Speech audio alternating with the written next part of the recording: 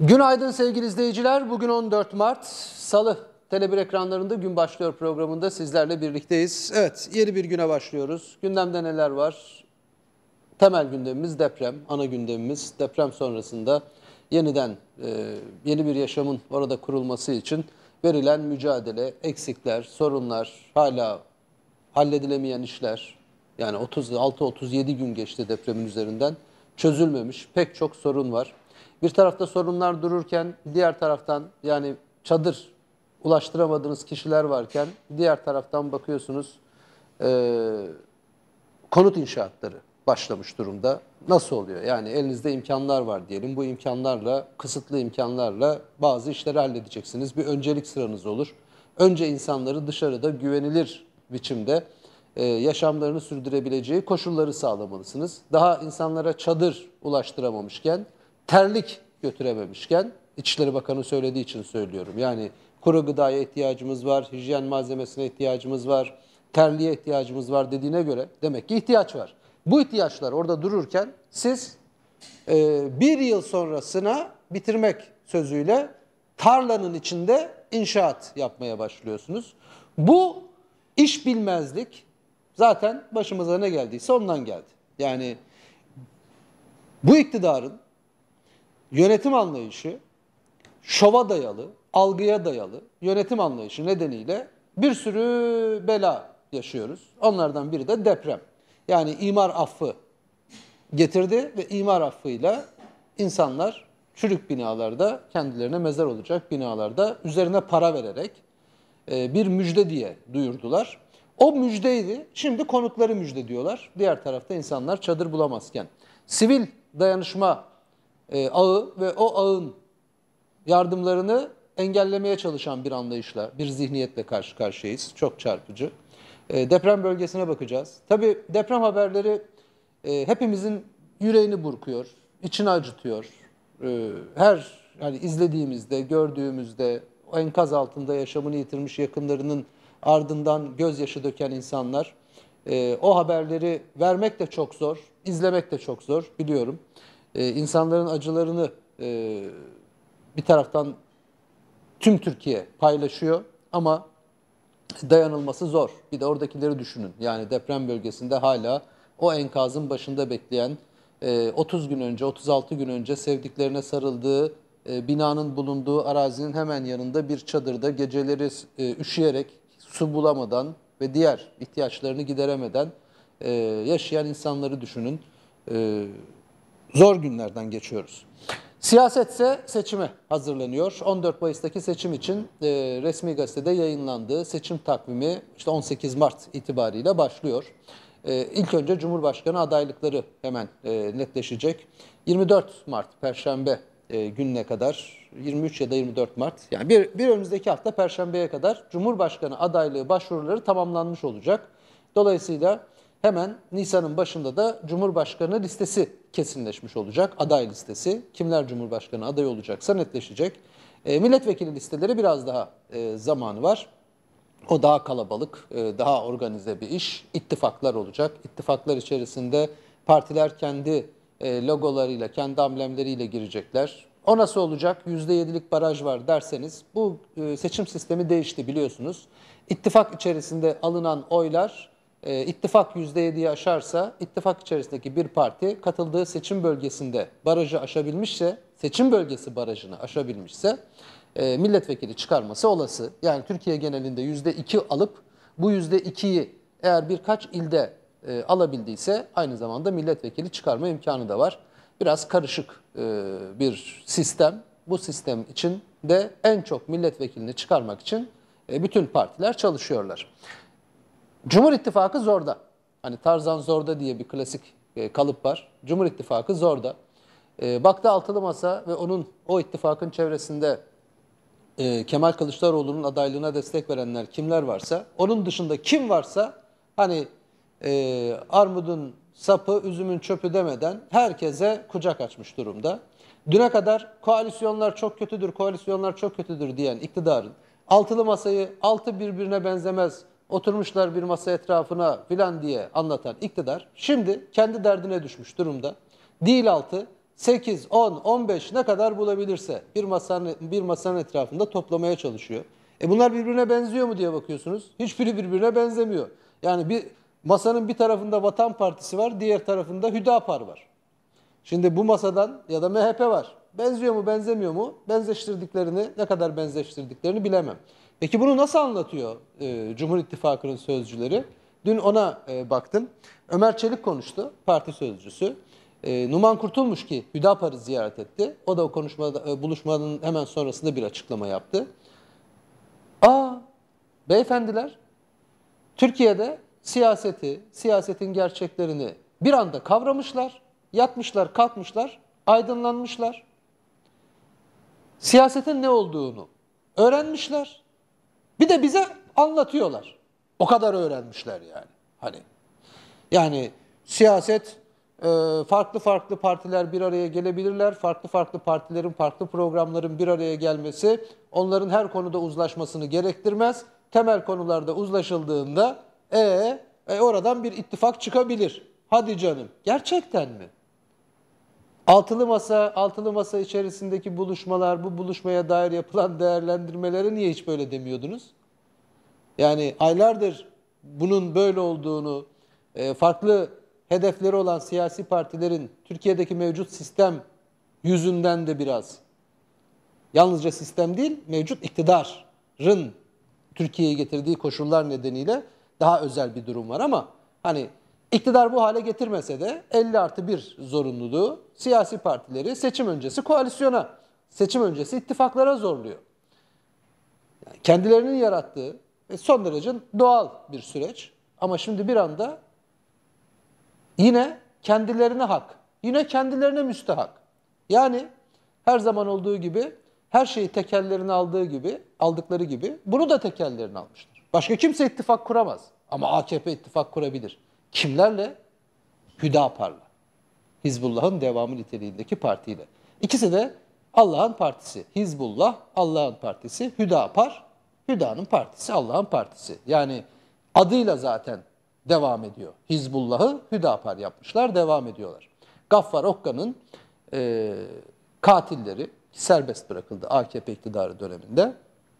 Resmi bir işbirliğine artık fiili, resmi görünen bir işbirliğine e, mecbur kaldılar. Bakın zaten işbirliği içindeydiler. Hüdapar kaç seçimdir AKP'yi zaten açıktan destekliyor. Hüdapar zaten iktidarda, AKP'nin içinde. Ama iş o hale geldi ki artık milletvekilli pazarlığı yapmadan ve belki de bakanlık pazarlığı yapmadan Hüdapar valla çok kıymetli bendeki oy. İstiyorsan bugüne kadar verdik vereceğimiz desteği. Bunun bir karşılığı olmayacak mı diyecek noktada. Çünkü Cumhur İttifakı o kadar zorda. Daha önce Zaten desteğini alıyorduk. Hani işlerinizi görürüz. Belediye, belediye, o bu, şu. Şimdi başka. Bugün kim yazmış? Biri yazmış. Belki hiç e, Akif Beki yazmış. İçişleri Bakanı Hüdaparlı olur mu acaba? Hani diyorlardı ya altılı masa İçişleri Bakanı HDP'li olur mu? İçişleri Bakanı yani Gaffar Okkan'ı şehit eden zihniyetin devamı ve bunu terör faaliyeti olarak kabul etmeyen zihniyet Türkiye'de AKP ve MHP sayesinde İçişleri Bakanlığı koltuğuna oturur mu oturmaz mı kardeşim? Soru bu. Buyursun Cumhur İttifakı bu yanıtlasın. Neden vermeyeceksiniz? Madem siyasi konularda görüşüyorsunuz, siyasi konularda temel ilkeler çerçevesinde birleştiniz ve işbirliği kararı verdiniz, bakanlıkta verebilirsiniz. Hüdapar diyor ki milletvekili olarak mecliste yer almak istiyoruz diyor. Hüdapar'ın tavrı net. Yeniden Refah Partisi işi biraz karışık. Yeniden Refah Partisi tabi Necmettin Erbakan'ın oğlu Fatih Erbakan ki hani Fatih Erbakan hangi yolda babasının yolunda mı değil mi o ayrı bir e, tartışma konusu olabilir. Özellikle milli görüş çevresinin tartıştığı bir konudur. Çünkü e, orada çok karışık işler var. E, milli görüş tabi sürekli üst üste kapanan partiler nedeniyle işte Refah'ıydı, Faziletiydi, öncesinde Milli Selamet Partisi vesaire yani partiler üst üste kapanınca bu parti kapatmalara karşı bir tedbir olarak e, partilerin mal varlıklarını yani partilerin elde ettikleri varlıkları e, genel başkanın üzerine e, de tutmuşlar. Ve Son Necmettin Erbakan öldükten sonra doğal olarak aslında o hareket içerisindeki herkesin bildiği ve bir partinin mal varlığı olmasına rağmen çocuklar kendi aralarında mal varlığı yarışına kapıştılar. Ee, ve varis benim, varis sensin, hayır o miras bana kalır, bu miras sana kalır derken Saadet Partisi'ni genel merkez binasından çıkarttırdılar. E, orası bizim dediler. Sizin değil. Onlar da çıktılar. Yapacak bir şey yok. Kızı Zeynep Erbakan şimdi Amerika'da. Bugün e, Demet Cengiz Tele1.com.tr'de yazmış. E, yani Türkiye'de Türkiye'de olmasını istediği düzeni savunucularından biri şimdi Amerika Birleşik Devletleri'nde olması çelişkisini gözler önüne sermiş. Oğlu da Fatih Erbakan ben partiyi aldım götürüyorum dedi. Peki buluşabilirler mi? Vallahi zor buluşurlar. Zor buluşurlar. Buluşsalar da yeniden Refah Partisi'nin tabanını AKP'ye ikna edebilmek bir aylı zor. Çünkü siyaseti yakından takip edenler, AKP'den ayrılanları izleyenlerin gördüğü şey şu.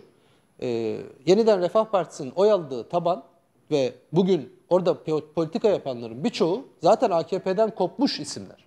Belki Saadet'te kendilerine yer bulmamışlar ama ayrı bir e, siyasi anlayış olarak ortaya çıkmışlar. Şimdi AKP'ye karşı siyaset yaparken AKP ile anlaşmak onlara zor geliyor. AKP'ye zor gelen hiçbir şey yok.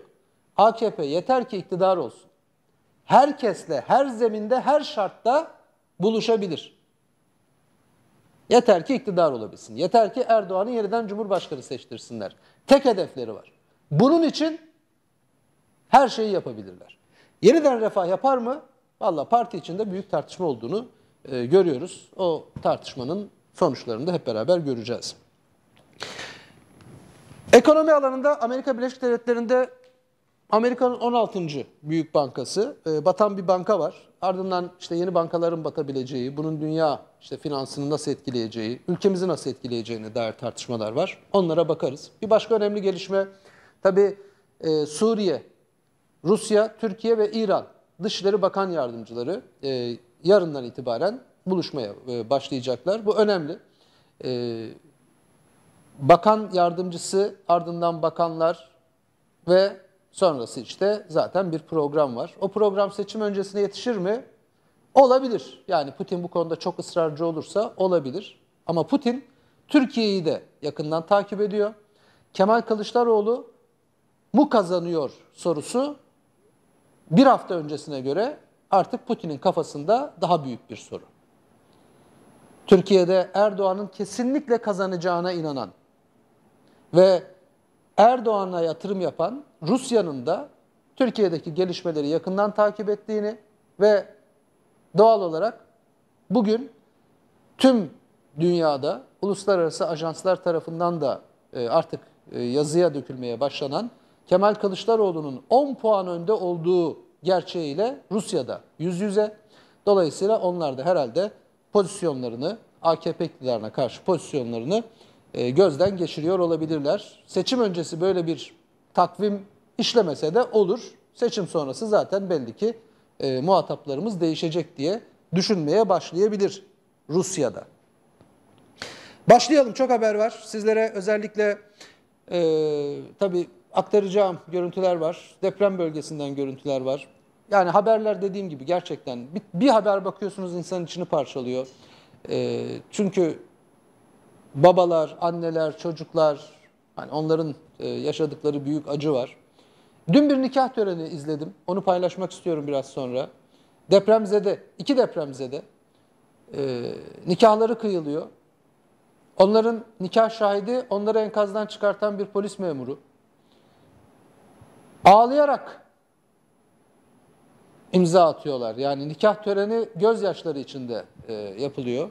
Bir taraftan gülüyorlar, bir taraftan ağlıyorlar. E, hayat devam ediyor. Yani onun görüntüsü. E, onu da paylaşmak istiyorum. Ama ilerleyen dakikalarda. Başlayalım şimdi. Manşetleri hızlıca aktarayım sizlere. Neler var neler yok. Bu arada 18 dakika programını da bak unuttu demeyin unuttum. Unuttum ama son anda aklıma geldi en azından. 18 dakika programı dün yoktu. Ee, sabahtan anonslamadım çünkü mahkemeden bir karar bekliyorduk. Yani mahkeme bu yürütmeyi durdurur diye. Çünkü yani imar aflarının bu felakete neden olan en önemli unsurlardan biri olduğunu, afeti felakete dönüştüren unsurlardan. Afet olur, deprem olmuyor, olmaz mı olur ama eğer afet felakete dönüşmüşse o zaman onun nedenini sorguladığınızda karşınıza çıkan nedenlerden biri de imar afları. Bunu söyledi diye Merdan Yanardağ, Tele1 Genel Yayın Yönetmeni 18 dakika programında Rütük 5 program durdurma cezası verdi. Yani 5 gün boyunca 18 dakika programı yayınlanmayacak. Yerine e, belgeseller yayınlanacak. Onlar da hep Rütük'ün seçtiği özel belgeseller. Hani bize de öyle belgeseller gönderiyor ki ya bez zalimler diyelim. Yani başka kanallara da ceza veriyorsunuz. Başka kanallara gönderdiğiniz belgeseller izleniyor hiç değilse. Ertesi gün reyting tablosunda görüyoruz. Aa, işte ise yeşillik var, doğa var, çevre var, insanı sakinleştiren böyle görüntüler var filan. Hani insanlar oturup ya aa, güzel belgeselmiş filan deyip izleyebiliyorlar. Ya bize sürekli böyle mesaj kaygısıyla belgeseller gönderiyorsunuz. Bir de tekrar eden belgeseller. Yani yarın tekrar edecek, öbürsü gün tekrar edecek, öbürsü gün tekrar edecek. Ya biraz arşivinizi genişletin, zenginleştirin. İmar affının güzelliklerini anlatan belgeseller hazırlayın. Öyle ya. Madem e, imar affı depremi felakete neden oldu diye bu sözleri bir ceza haline getirdiniz. O zaman ne duruyorsunuz? Hazırlayın belgeselinizi. İmar afları çok iyidir. Gelişmiş dünyada afete karşı mücadelede en etkili yöntemlerden biridir. İnsanların kolon kestikleri, üst üste kaçak katlar çıktıkları, normalde 4 katlı olması gerekirken 8 kata kadar çıkardıkları, dolayısıyla 4 kat yük taşıması gereken kolonların 8 kat taşımaya başladığı yapıların depremde çökmemesi için imar affı gerektiğini, bunun ne kadar güzel bir şey olduğunu bir belgesel olarak hazırlayın. Biz de izleyelim, öğrenelim sayenizde yani. Olabilir tabii. Bizim de yani elbette cahil kaldığımız yerler var. Demek ki imar affı konusunda bilgi eksikliği var bizde. Anlatın da öğrenelim yani. Evet 18 dakika program için mahkemeden durdurma kararı bekliyorduk ama mahkeme bu kararı vermedi. Bunu da, bu konuda şaşkınız onu söyleyelim.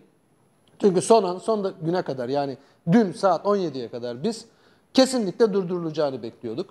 Çünkü telafi edilemez bir zararla karşı karşıya kalındığında mahkemenin hani yürütmenin durdurulması, kararı vermesi sıradan bir iş gibi geliyor. Ya yürütmeyi durdur kardeşim acelesi yok. Sonra kapatırsın. Bakalım suçlu mu, suçsuz mu?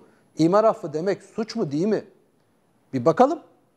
Ha imar affı demek suçsa cezasını yine çeker. Ama değilse niye bu cezayı çektirelim deyip durdurur diye düşünüyorduk. Ama öyle olmadı. E, mahkemeden de bu karar çıkmadı. Yine çıkabilir onu söyleyelim. Yani sürpriz bir biçimde bugün çıkabilir. 18 dakika programı bu akşam yayınlanabilir. E, biz bu 5 günlük süre içerisinde bu kararın çıkmasını da bekliyoruz. Dolayısıyla e, bir akşam ansızın e, gelebilir Emre Kongar ve Merdan Yanardağ 18 dakika programında sizlerle buluşabilir. Cumhuriyet Gazetesi gerici kuşatma demiş. Oy pazarlıklarının merkezine kadınları koruyan son yasayı koydular. Cumhurbaşkanı kararıyla kadınlar için adeta bir koruma kalkanı olan İstanbul Sözleşmesi'nden çıkıldı. Kadınları koruyan tek yasa olan 6284 de seçim arifesinde tehlikede. Evet, pazarlık bunun üzerinden. Hani Türkiye neyin seçimini yapıyor? O zaten çok açık. Aydınlıkla karanlık seçimi. Ve şimdi kadınlar masada üstelik Cumhur İttifakı'nın pazarlık konusu kadınların can güvenliği. Kadınların can güvenliğini pazarlık masasına yatırmışlar. Cumhur İttifakı'na katılmayı kabul eden Yeniden Refah Partisi AKP'den bu yasanın kaldırılmasını istedi. İttifak şartı olarak 30 madde sunan Yeniden Refah Partisi AKP'den itiraz gelmediğini açıkladı. Konu AKP içinde tartışma yarattı. Parti sözcüsü Ömer Çelik programlarımız çelişebilir, ittifakımız ilkeler açıklaması e, yapacak, ortak bir duruş belirlenir demekle yetindi. Evet tabi buna kadın örgütlerinden tepkiler var. aklınızdan geçirmeyin diyorlar.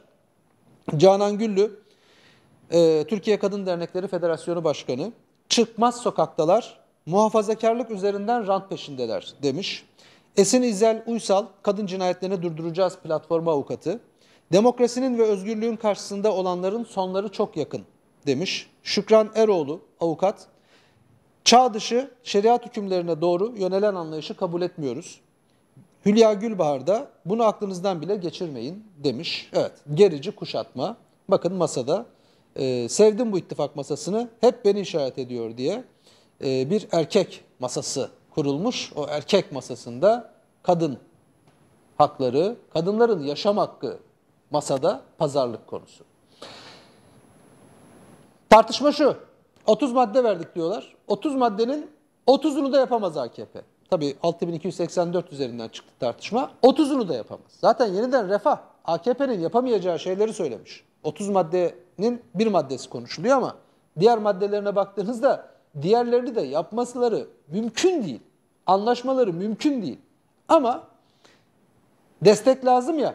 Hani onlar da 30 maddeye bakmışlar. Herhalde yutkunmuştur o maddeye bakan. Çünkü bir saniye maddelerin bir kısmı vardı şurada. Şöyle bir aktarayım. Yani yeniden refah da e, böyle tek bir madde önlerine koymuş gibi düşünmeyin. Heh, bak şimdi. Diyor ki, üretim, istihdam, ihracat ekonomisi uygulansın. Denk bütçe ve milli kaynakları harekete geçirerek faiz yükünün azaltılması maddeler bunlar. Ee, ne diyor? Tarımsal kotalar kaldırılsın. Merkez Bankası'nın hazineyi fonlanmasının önündeki engeller kaldırılsın. Ee, başka? Atamalarda adalet, liyakat ve aile bütünlüğünün dikkate alınması. Atamalarda adalet, liyakat, aile bütünlüğünün dikkate alınması. İstanbul Sözleşmesi zaten iptal. Ee, Kudüs'le ilgili kırmızı çizgimizin korunması demiş mesela. Kudüs'le ilgili bir kırmızı çizgi yok ki. Yani yeniden refah kırmızı bir çizgi olduğunu düşünüyor da onun korunmasını istiyorsa AKP'den bunu Aa, iyi bu hali korumuş sayıyorsanız iyidir diye düşünmüş olabilirler. Suriyelilerin güvenli şekilde ülkelerine dönüşünün temin edilmesi. Süresiz nafaka konusunda mağduriyetlerin giderilmesi. Bak bu nafaka konusu gündemde. Milli eğitim müfredatının milli ve manevi değerlerimize uygun hale getirilmesi. Yani değilmiş şu anda. Zinanın suç sayılması. Mazottan vergi alınmaması. Gübre fiyatlarına en az %50 destek verilmesi. Böyle devam ediyor işte. Başka neler var?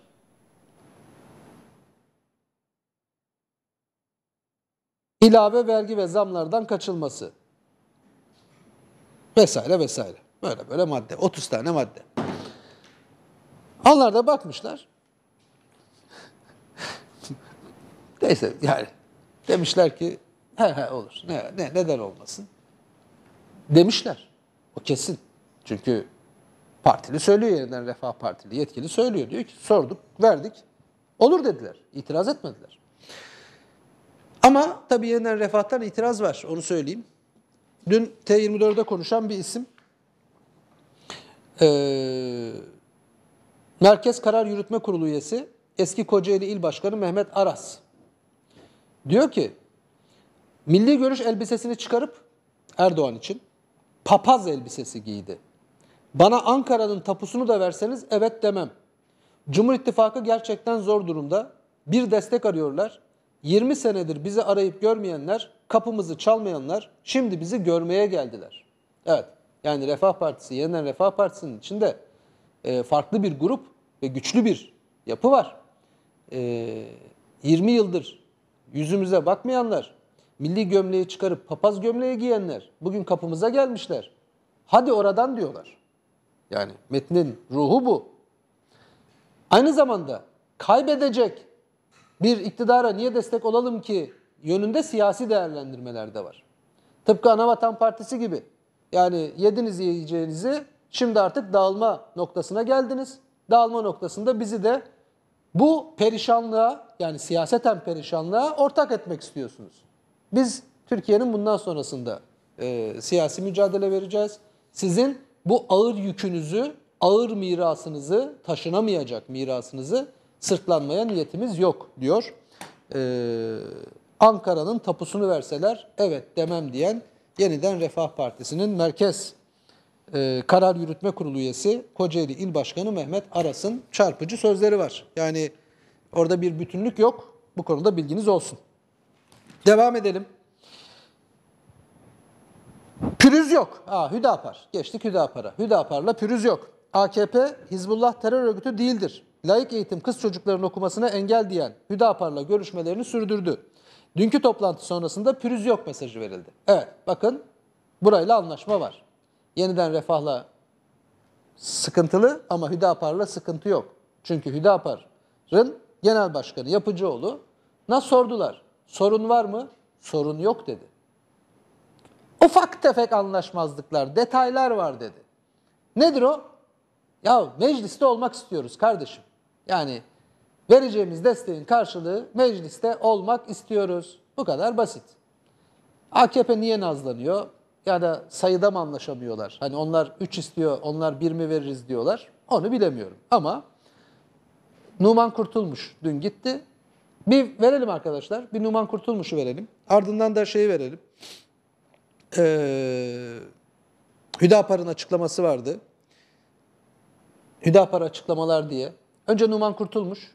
Bakın nasıl Hüdapar'la görüşünce bir anda siyaset ve siyasete bakışları değişti. Temel ilkeler etrafında birleştikten sonra her partinin farklı farklı programları olabilir demeye başladılar. Dün öyle, bugün böyle. Hadi kolay gele. Arkasından da Hüdapar'dan gelen açıklama var. Yani o buluşmanın devamında yapılan açıklama. Hiçbir sorun yok diyor. Ufak halledilmesi gereken şeyler var. Onları da bir iki güne hallederiz. AKP ve Hüdapar belli ki he, %99.9 anlaşmışlar. İzleyelim. Cumhur İttifakı'nın en başından itibaren geliştirdiğimiz gibi ilkeler etrafında bütünleşme, ilkeler etrafında fikirlerimizi mümkün olduğunca ortaklaştırma olarak görüyoruz.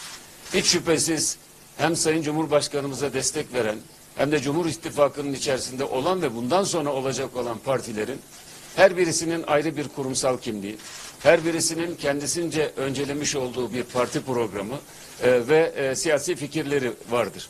Ama sonuç itibariyle bizim hepimizi ortak bir noktaya do- doğru getiren ilkelerimizdir. e, prensip olarak bir problem yok. Fakat bunun nasıllığı ile ilgili detaylarda henüz bir netleşme yok. İnşallah onlar netleşirse onu da kamuoyuyla paylaşırız. E, gizli saklı, üstü örtülü pazarlıklar Sayın Bakanım da ifade ettiği gibi e, bu tür pazarlıklar olarak algılanmasın bu açıklamanın gecikmesi. Sayın Bakanıma ve değerli heyetine arkadaşına da huzurlarınızda bir kez daha bu ziyaretler için teşekkür ediyorum. Rabbim hayırlara vesile kılsın inşallah. Vesile kılsın inşallah. Yani sorumuz olabilir mi? Hüdapar bugünden itibaren Cumhur İttifakı'nın bir parçasıdır diyebilir miyiz? Henüz o noktada değil. Ama inşallah e, dediğim gibi yani şu ana kadarki görüşmelerde bir pürüz yok. E, devam ediyor ama e, son noktaya henüz koymuş değiliz. Biraz daha beklemeniz gerekecek. Anlaşılamayan noktalar hangisi? Anlaşılamayan bir nokta yok. O aşamaya gelmedik dediniz de o açıdan sonra. Müzakereler devam ediyor. Bir sonraki görüşmeye ilişkin bir takvim veya da tarih var mı? İhtimal bu hafta içerisinde hafta sonuna doğru belki bizim AK Parti bir ziyaretimiz olabilir. Peki. Evet anlaşılamayan nokta yok deyince nasıl keyifleniyor Numan Kurtulmuş? Demek ki anlaşılamayan bir nokta yok. Aslında var. Da işte kaç milletvekili? Ee, belki dediğim gibi İçişleri Bakanlığı. Niye olmasın canım? Sonuçta temel ilkeler etrafında anlaştıktan sonra neden olmasın? Olur tabii. Bir aileye tek mezar. Hatay'da 9 yakınını kaybeden depremzede yaşadıklarını anlattı. Depreme Hatay'da yakalanan Veli Saitoğlu Cumhuriyet'e konuştu. Saitoğlu akrabalarını kurtarmak için iş makinesi aradıklarını, operatörü ikna etmek için babasının kepçenin önüne yattığını söyledi. Saitoğlu, kardeşimin eşi Hüseyin, iki çocuğu Ege ve Ayşe'yi aynı mezara gömdük dedi. Evet, bir aile tek mezar. 36 gündür çaresizler. İskenderun'da enkaz altında kalan Betül Nuran Çelik ve Gülden Çelik'ten 36 gündür haber yok. Danimarka'dan gelen yakınları, ailelerimiz nerede yazılı tişörtlerle sokak sokak gezip afiş asıyor. Kayıplar var, çok ciddi. Bulunamıyorlar. Yani enkaz altında değil, hastanelerde değil. Nerede bu insanlar? Belli değil.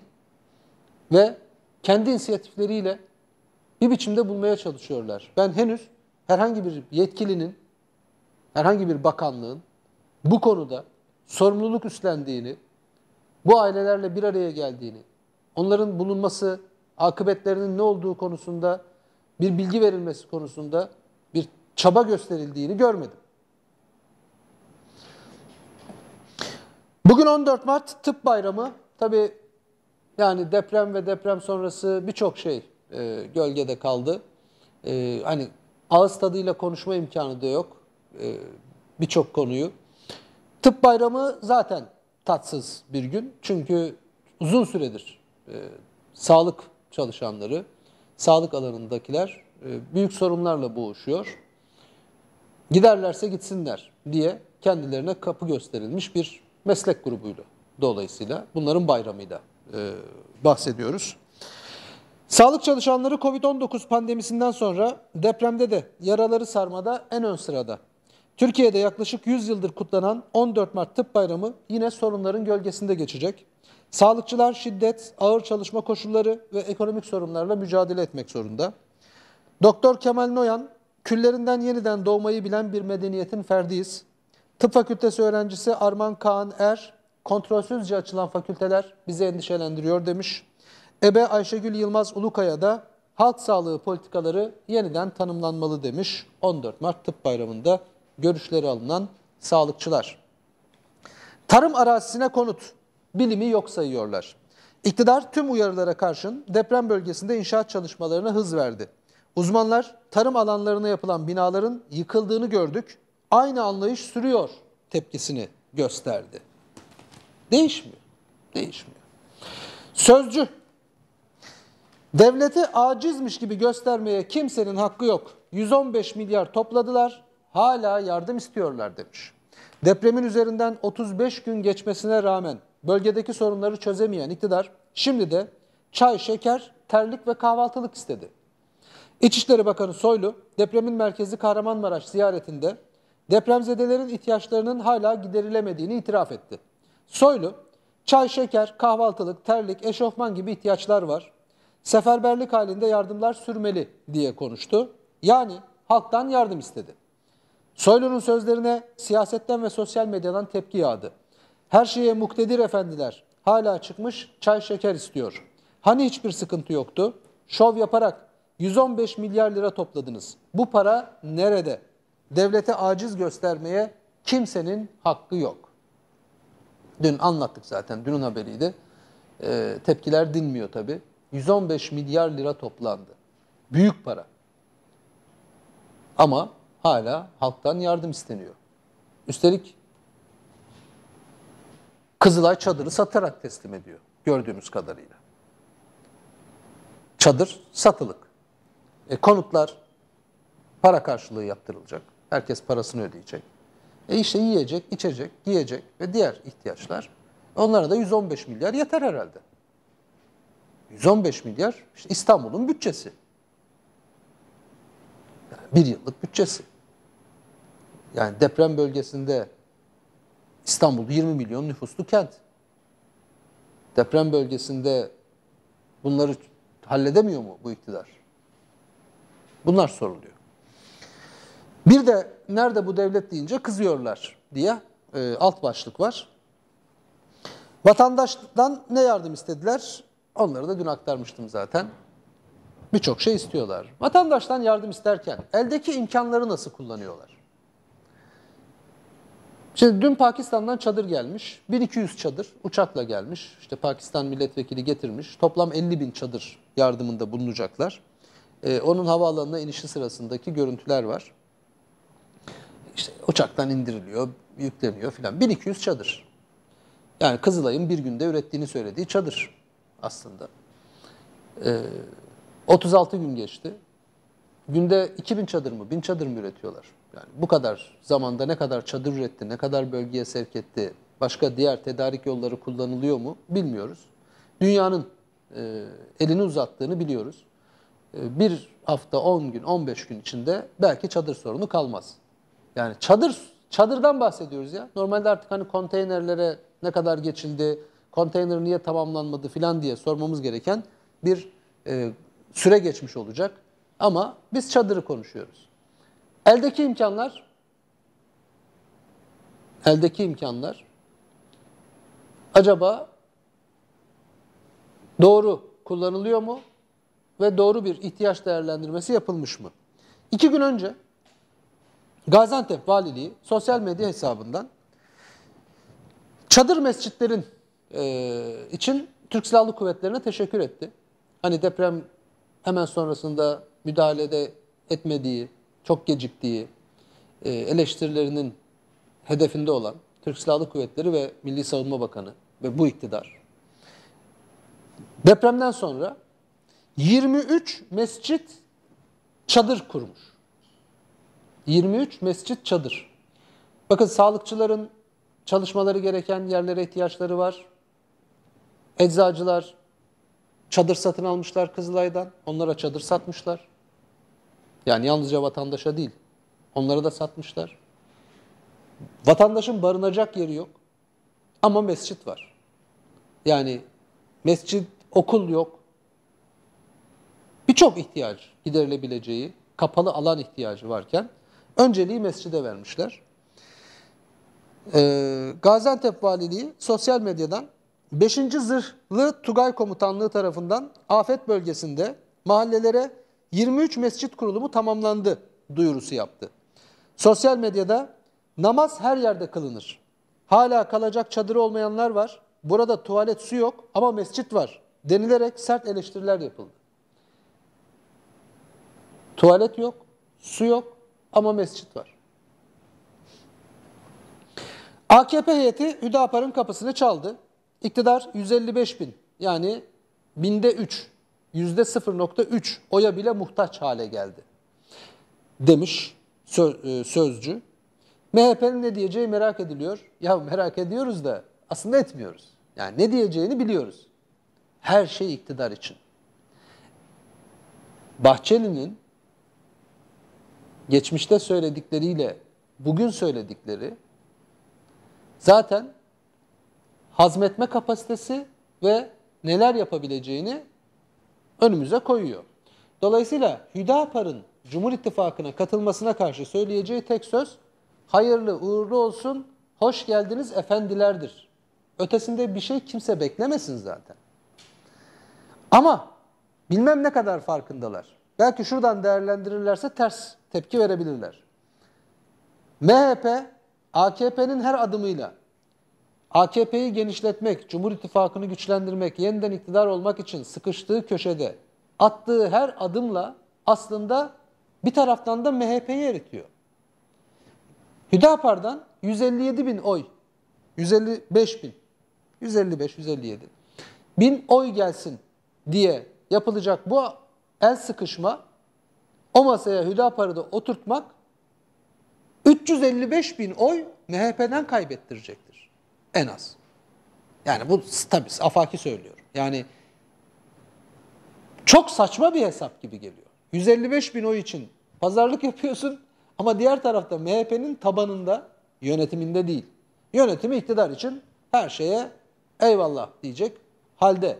Ama parti tabanında ya biz bu MHP'ye mi oy vereceğiz? Hani onu sindirdik, bunu sindirdik, şunu sindirdik. Bunu da mı sindireceğiz? Deyip ayrılacak bir kitle olacaktır. Ama öylesi bir telaş, öylesi bir panik içerisinde iktidar 0.3'lük oya mahkum MHP'ye vereceği zarar umrunda değil. MHP o zararı görürse yani kendi tabanından gelen tepkiyi görürse belki bir mırın kırın edebilir. Bakalım. O da göstermelik. Yani, hani biz demiştik, mırın kırın etmiştik diye.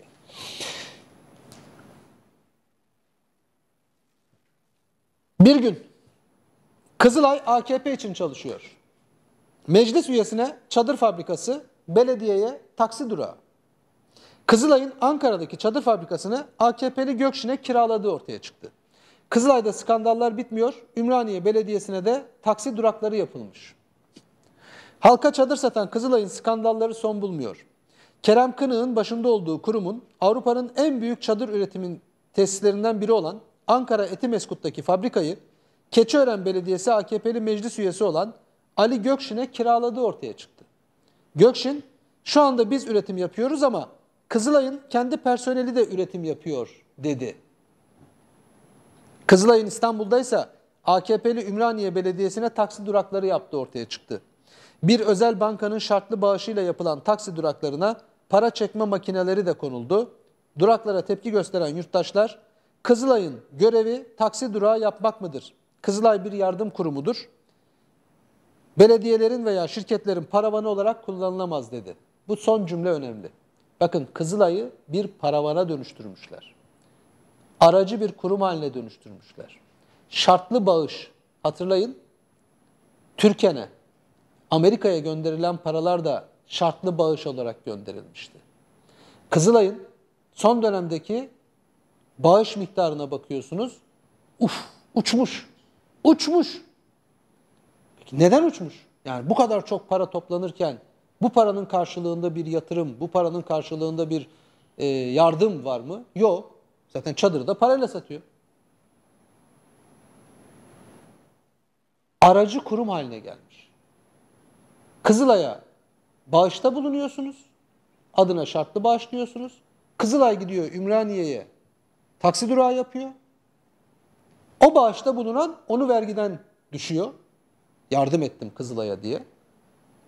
Böylece normalde devlet toplaması gereken vergiler hani o vergilerin de doğru yönetilmesi gerekirken birileri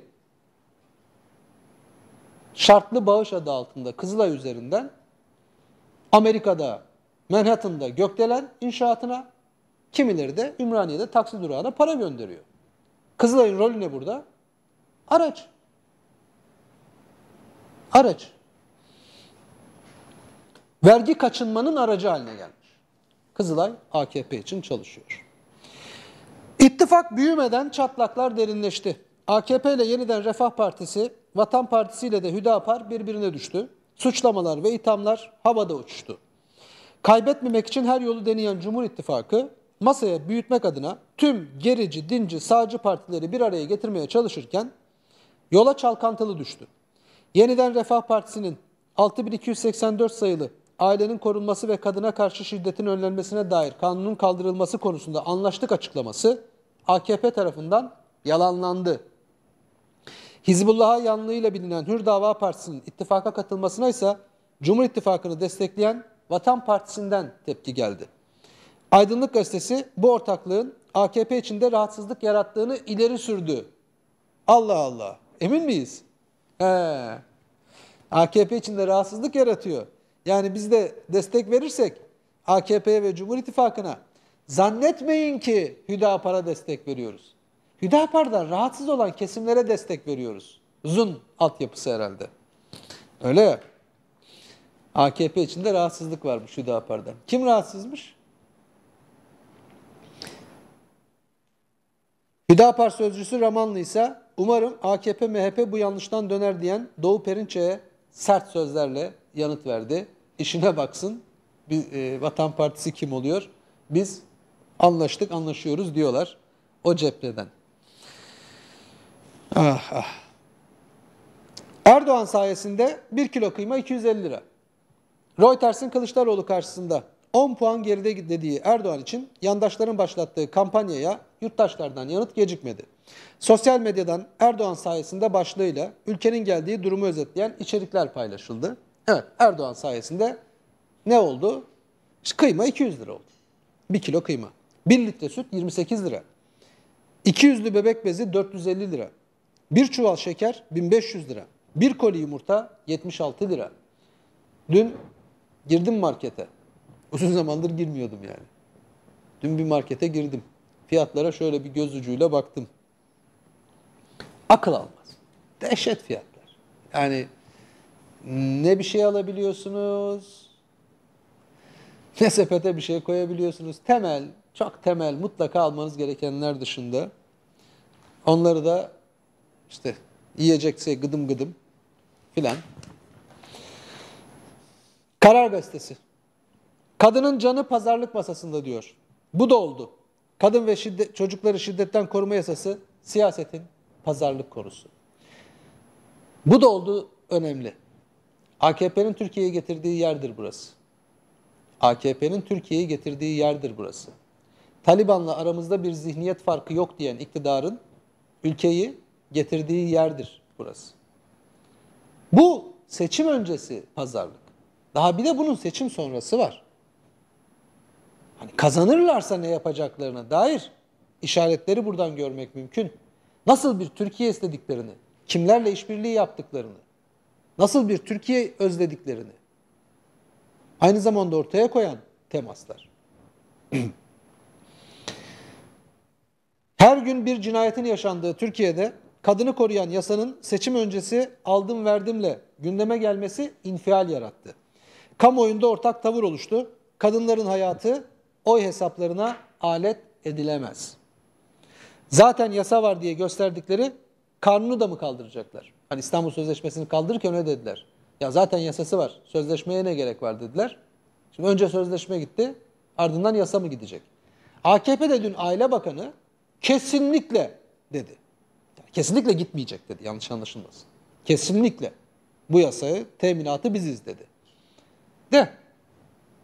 Aile Bakanı kendi şeyinde konuşuyor. Bir de Erdoğan'a sorsun bakalım.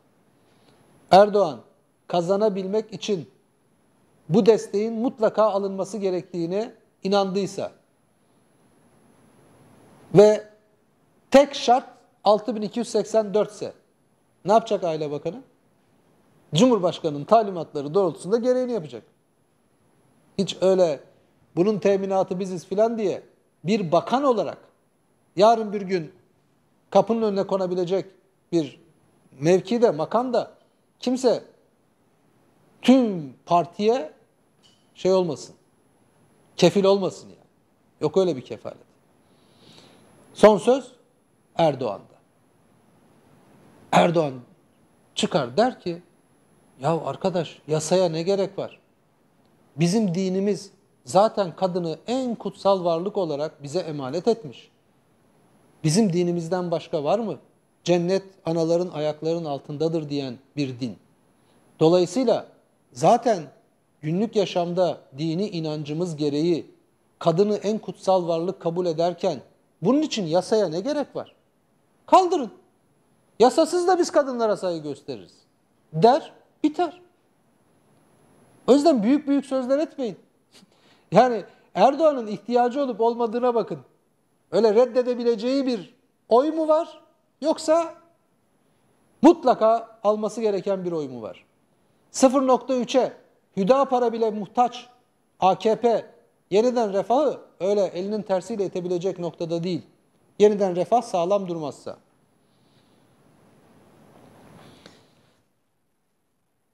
Kazanımların yok edilmesine izin vermeyiz. CHP lideri Kemal Kılıçdaroğlu'nun bu konuda attığı mesajlar var. Ee, Cumhur'da zor ortak çatlağı Hüdapar. Geçtik. Rezerv eridi, cari açık yine rekorla patladı. Diyor ki, kim diyor ya? Nurettin Canikli diyor. Bunlar diyor seçimi kazanırsa e EYT'lilerin maaşlarını dağıtamaz diyor. Bak bak korku salıyor millete. Ya siz terlik isteyen sizsiniz. Şeker çay isteyen sizsiniz. Yani bir taraftan şeker çay aman yardım diyen sizsiniz.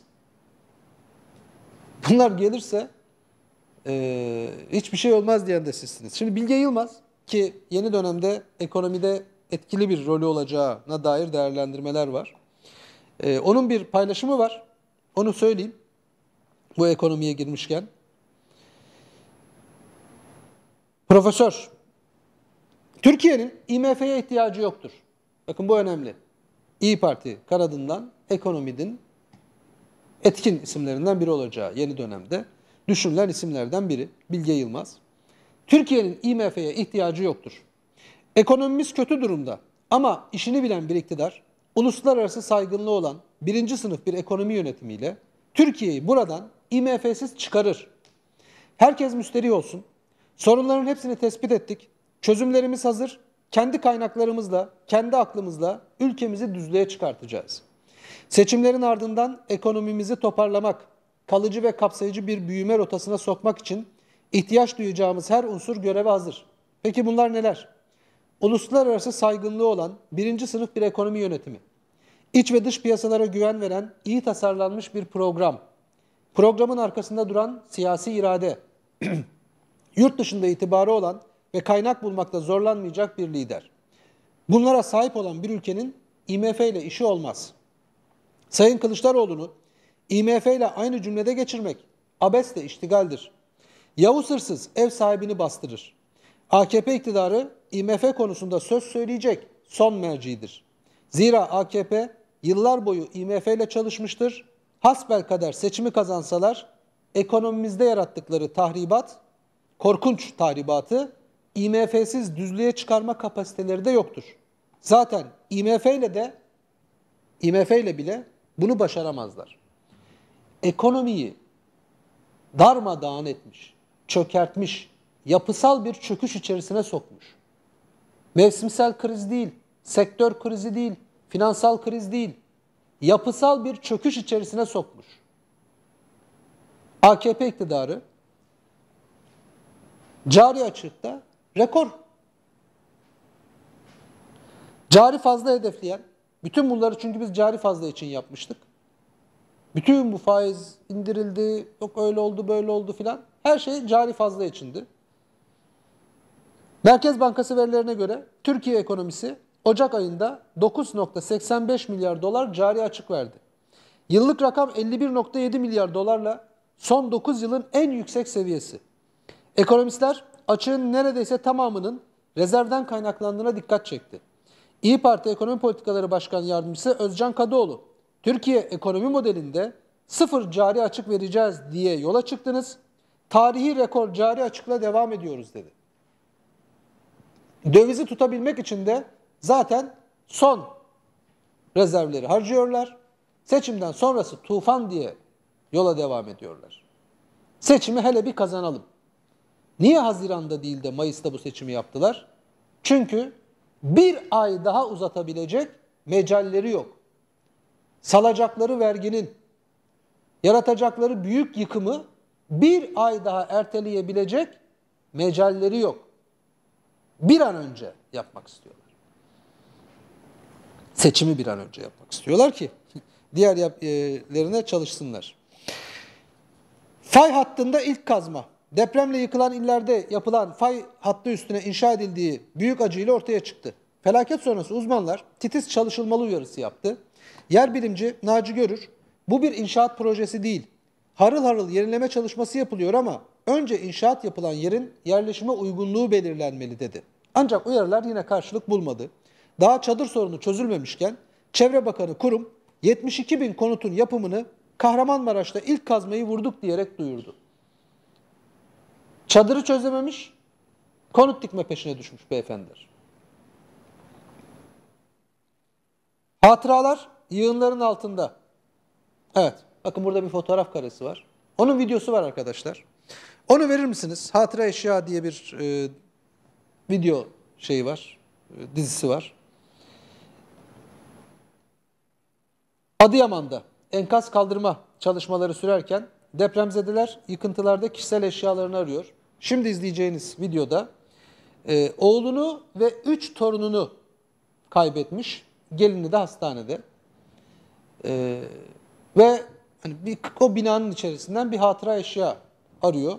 Ve bulduklarıyla da işte bakın neler söylüyor. E, Aysel Ekici.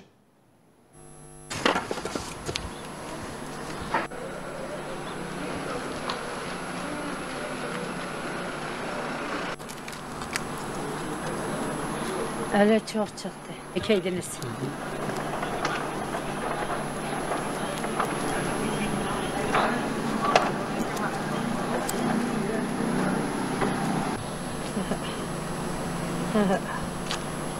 Son hatıraları, fotoğrafları aldık. Çocuklarımızın elbiselerini aldık. Ee, oğlumun pantolonu aldık. Bunlar belliydi. Oğlumun bazı kitapları vardı, Kur'an-ı Kerim bunlar. Onları aldık, onları bir yere bağışladım. Çünkü çok severdi. Aldığım hatıra da bunlar bana kaldı. Bir de oğlumun pantolonu. Başka hiçbir şey kalmadı. Onlardan kalan son hatıralar, baldızımın son hatıraları, fotoğraflarını çıkardım. İşte birkaç parçasını hatıra olarak bana telefon açtı dedi, son hatırasını çıkar. Biz de elimizden geldiğince albümünü bulduk. Birkaç elbisesini bulduk. Çocukların elbisesini bulduk. İşte öyle. Evet. Bir de nikah töreni var. Onu da madem şimdi verelim. Ee, depremden e, yani depremzede olarak 36 saat sonra enkaz altından çıkartılan e, bir genç ve onu enkaz altından kurtaran polisin de nikah şahitliği yaptığı e, bir nikah töreni var. Onu bir verir misiniz arkadaşlar? Ben de bilgilerine bakayım. Hayat devam ediyor. Bir tarafta yine gözyaşı dökerken böyle mutlu anlara da şahitlik ediyoruz. Mehmet de 36 saat o enkaz altında eksi 9 derecede kurtarılmayı bekleyen kardeşlerimizden birisi. Ama biliyorum birazdan birbirlerine karşı sadakatlerini dile getirecekler, evet diyecekler. Ama Mehmet'in de enkaz altındayken dışarıdakilere ilk önce nişanlısının bulunduğu mahalleyi sorduğunu iyi biliyorum. Aklı ondaydı. İşte Allah nasip etti. Bugünlere onları çıkardı. Dilara ile Mehmet Tekin evlenme isteğiyle belediyemize başvurdular. Mahmut Devinoğlu, Mehmet Tekin siz misiniz? Evet. Duyuyoruz. Sayın Dilara Kahraman, kendi rıza ve arzunuzla hiçbir baskı ve zor altında kalmadan Sayın Mehmet Tekin'i kendinize eş olarak kabul ediyor musunuz? Evet.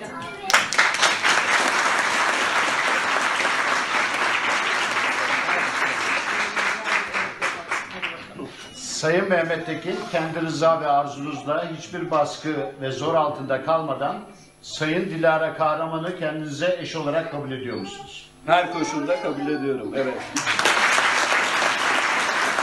Alaşehir Belediye Başkanı olarak Türk Medeni Kanunu'nun bana verdiği yetkiye isnaden siz sayın konukların ve şahitlerin huzurunda gerçekleştirdiğimiz bu birlikteliğin hayırlı uğurlu olmasını diliyor. Genç çiftlere de yaşam boyu mutluluklar diliyorum. Buraya bakıyoruz imzalarken. Evet bakıyoruz Sayın Başkanım. Evet Mehmet Tekin ve Dilara Kahraman çifti. Ee, Afetzede nişanlısı Dilara Kahramansa e, Kahraman'la Manisa'nın Alaşehir ilçesinde evlenmiş. Yani ikisi de e, Afetzede. E, enkaz altında kalan 36. saatte enkaz altından kurtarılan Mehmet Tekin e, eşi gözyaşları içerisinde bir nikah töreni. Hayat devam ediyor diyor e, belediye başkanı. Enkaz üstünde prompter kurdu, miting yaptı. İyi Partili Erhan Usta, Cumhurbaşkanı'nın Hatay'daki programına sert tepki gösterdi. İnsanlar içecek su bulamazken organizasyon hazırlandı. Enkazın üstüne prompter konularak miting yapıldı dedi. Fuat Oktay 29 gündür ortada yok. Hakikaten o nerede? Hiç görünmüyor. Erdoğan'ın Kırıkhan'daki konuşmasını hatırlayacaksınız. Enkazın üstüne prompter konuldu. Erdoğan muhalefete karşı aşırı sert dille miting yaptı. Bütün süreci yöneten Fuat Oktay da yoktu. Böyle ciddiyetsizlik olmaz. Bu beceriksiz ellerde deprem bir felakete dönüştü. Hükümet enkaz altında kaldı. Deprem nedeniyle yaşanan başarısızlığı algı yaratarak örtmeye çalışıyorlar. Vatandaş seçimde iktidara faturayı kesecek demiş. Hemen bir bilgi daha sizlere. Bugün e, CHP lideri Kemal Kılıçdaroğlu ve Millet İttifakı'nın Cumhurbaşkanı adayı Hatay'da yeniden e, bu salı günleri grup konuşmalarını artık mecliste yapmayacağını söylemişti. E, Hatay'da bir millet buluşması yine gerçekleşecek saat 13'te. E, bugünkü afet programına baktığımızda öğlen saatlerinde Narlıca mezarlığını ziyaret edeceğini, ardından işte millet buluşması e, olacak 13.30'da. Daha sonra Defne ilçesi Çadır kenti ziyaret edecek, Kuşaklı köyünü ziyaret edecek, Kırıkhan ilçesini ziyaret edecek. Kırıkhan ilçesi. Cumhurbaşkanı Erdoğan Kırıkhan'daydı. Hatırlayacaksınız. Ben merak içinde bekliyorum. Muhabir arkadaşlarımız da orada olacaklar. Yani nasıl olup da Cumhurbaşkanı Erdoğan deprem bölgelerine gittiğinde tek bir şikayetçi vatandaşla buluşmuyor, buluşamıyor. Hep soruyorum ya. ya nasıl oluyor ya? Hani bir Allah'ın kulu yok mu orada ya? Şu da eksik, şuna da ihtiyacımız var. Sayın Cumhurbaşkanım şu da olsa iyi olur diyecek. Yok. Demek ki yok diyorsunuz bakınca.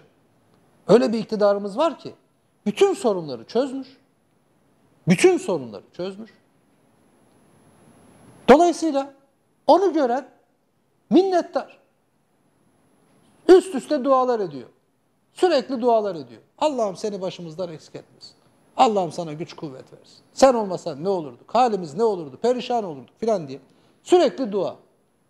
Bir tane mi yok? Bir kişi mi yok yani? Şunla ihtiyacımız var diye. Yok kardeşim, yok. Bakalım. İki gün önce Cumhurbaşkanı Kırıkhan'daydı. Bugün CHP lideri Kemal Kılıçdaroğlu gidecek Kırıkhan'a. Kırıkhan'ı bir de oradan görelim. Bakın Hatay'da, İskenderun'da, merkezden size görüntüler vereceğim şimdi. Ee, Hatay Spor Salonu var.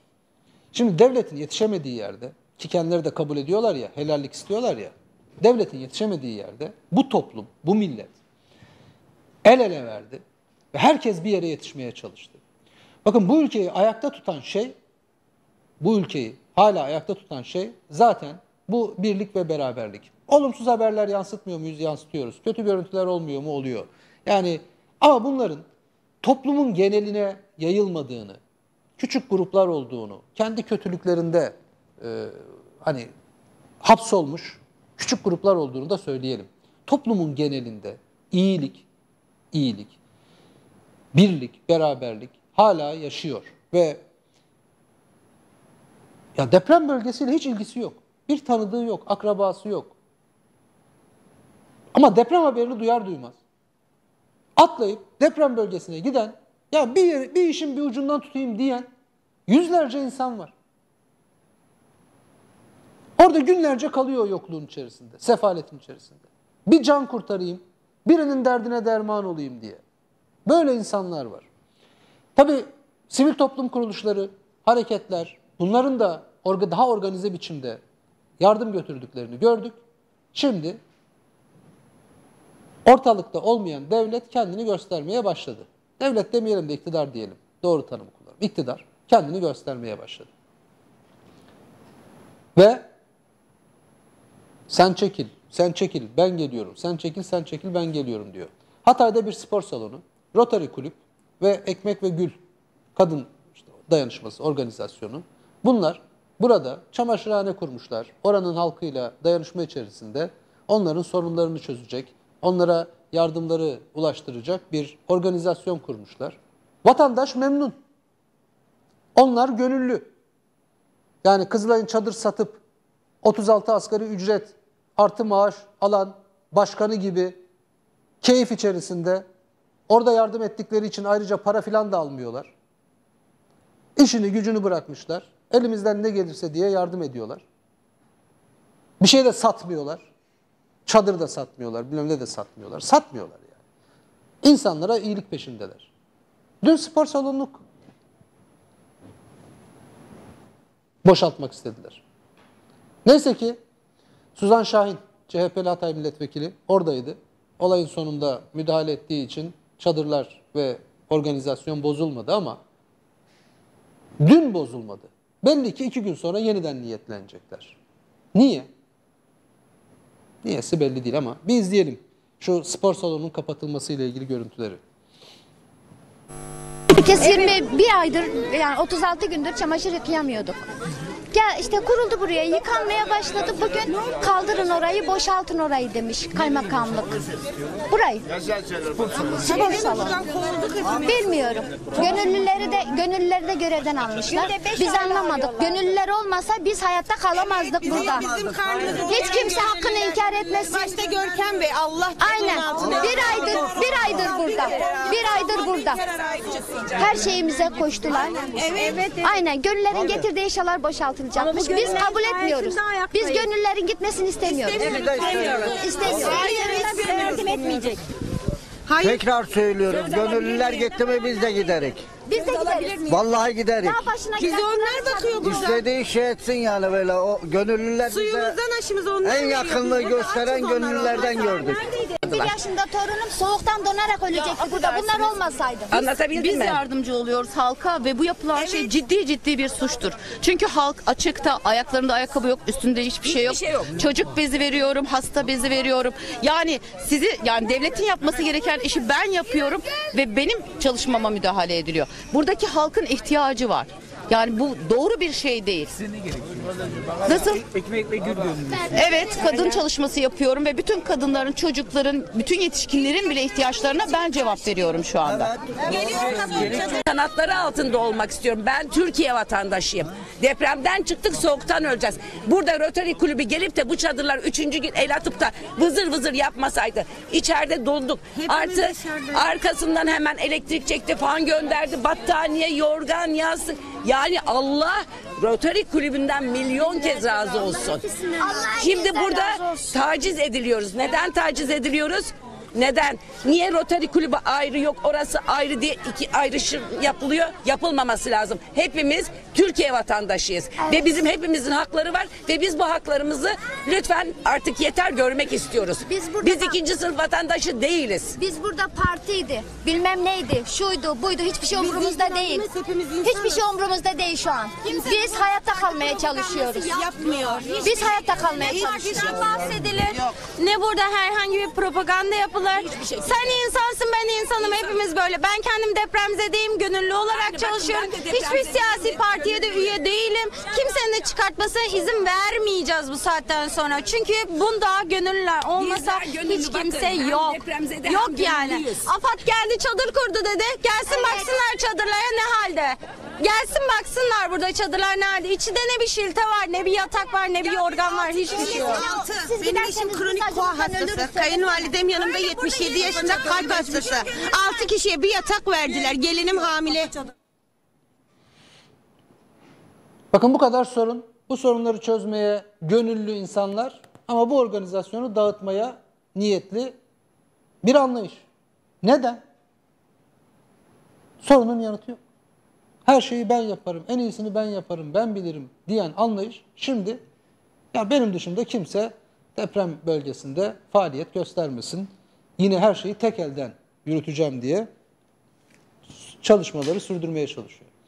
Ondan sonra da çıkar terlik gönderin, şeker gönderin, çay gönderin diye açıklama yaparsınız. Bakın insanların gönüllü biçimde gönderdikleri yardımları, her şeyi, vinçler dahil her türlü yardımı bir merkezde topluyorsunuz.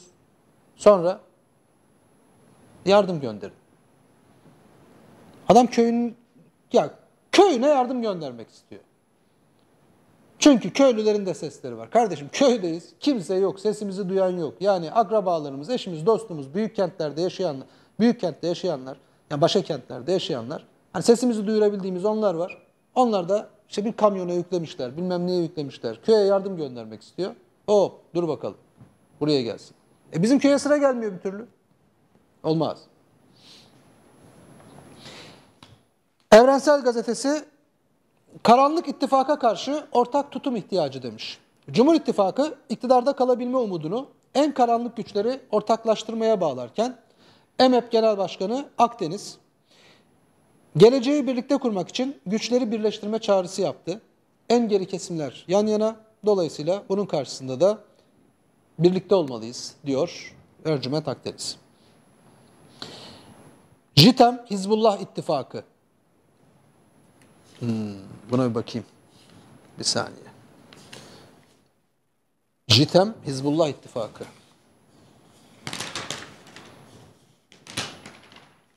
Bulabilecek miyim? Bir saniye.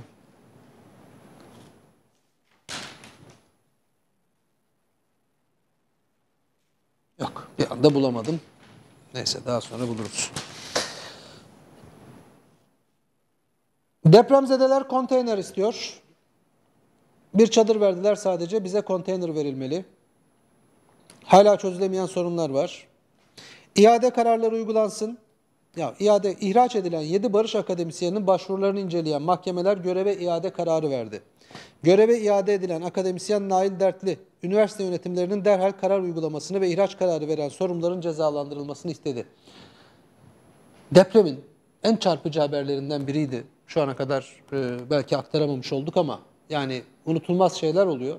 Ama gündem yoğun. İşte onların arasında belki e, söylemeyi unutuyoruz ama hafızamıza yazılıyor. Ya depremde evi yıkılmış. Depremden sonra bir yurda yerleştirilecek. Sen KHK'lısın deyip yurda alınmayan yurttaş haberini okudunuz mu, duydunuz mu bilmiyorum. 15 Temmuz darbe girişimi ki AKP'nin cemaatle el ele verip ülkeyi sürüklediği yerde ortağının kendisine kazığı ya da kendisinin Allah'ın lütfu diye tanımladığı olağanüstü hal koşullarında ülkeyi getirdiği yer hepimizin malumu. Bütün bunlar böyle böyle geldi. Onları biliyoruz. Ama KHK'lı. Yani KHK'lı ne demek? Kanun hükmünde kararnameyle. İktidar demiş ki sen teröristsin. Ya bir saniye. Var mı benim bağlantımı ortaya koyan bir şey? Var mı bir irtibat? Var mı bir faaliyet? Yok. Ya direkt FETÖ'nün içinde yer alıp bizzat yöneticiliğini yapanların dışarıya kaçtığı, de ki en babasının birkaç yıl yatıp birka- e, çıktığı filan ortamda 2016, 2023 bu nasıl bitmeyen bir kin, nasıl bitmeyen bir öfkedir ya? Adamın bir kaydı, bir FETÖ'cü bilmem nesi filan öyle bir şey de yok. KHK'lı. Zamanında çıkarmış. Sesini duyuramamış. Ya yok kardeşim alakam demiş. Mahkemeye hani gitsen de fayda etmiyor. Çünkü seni tekrar almıyorlar filan. Deprem sonrası. KYK ya bir yurda almamak ne demek ya? Çık öl diyor ya. Ne halin varsa gör. Bana ne diyor? Bana ne diyor? Böyle devlet olmaz. Böyle devlet olmaz. Devlet böyle idare edilmez.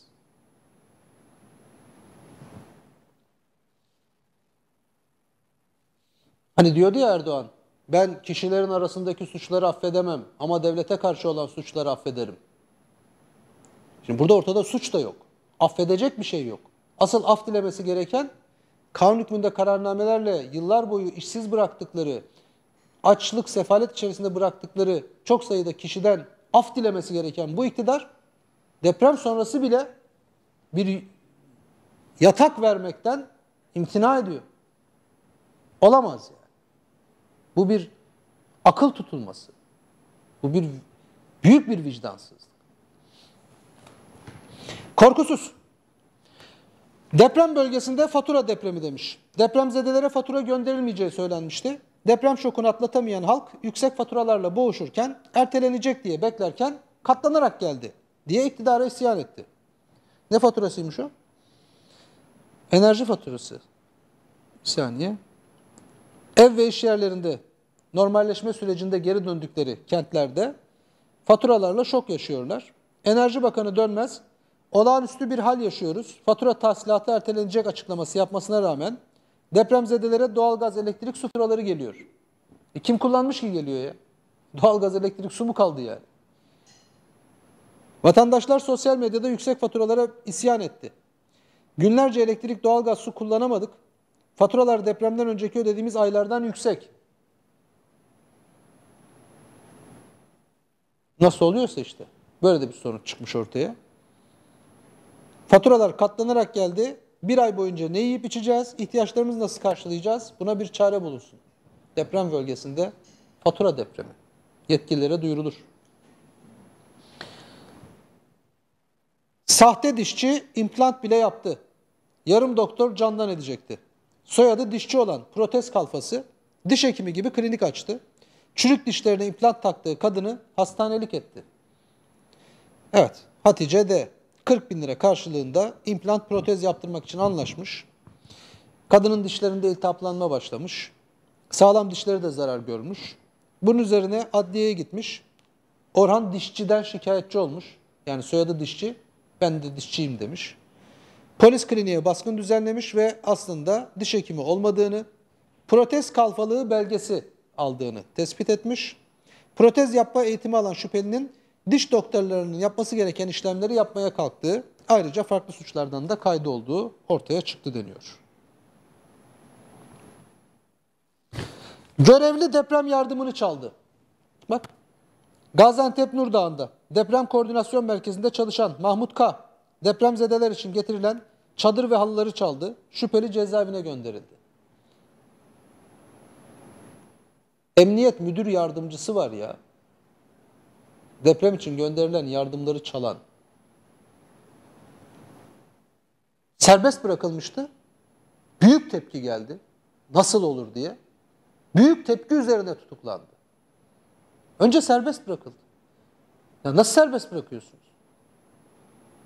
Onun serbest bırakılmasının nedeni ne? Ayrıcalığı ne yani? Hırsızlık ayrıcalığı nereden geliyor yani?